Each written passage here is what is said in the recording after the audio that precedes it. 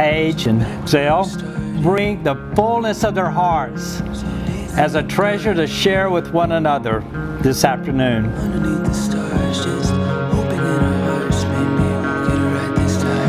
Let your two hearts beat as one. Work together, walk together, bear each other's burdens and share each other's joys.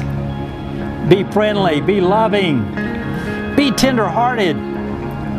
Cherish the relationship and the commitment that you're establishing today.